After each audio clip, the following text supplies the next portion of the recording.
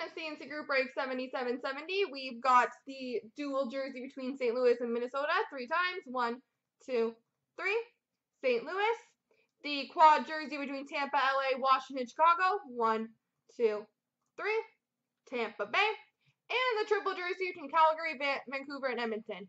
One, two, three. There we go. Vancouver wins.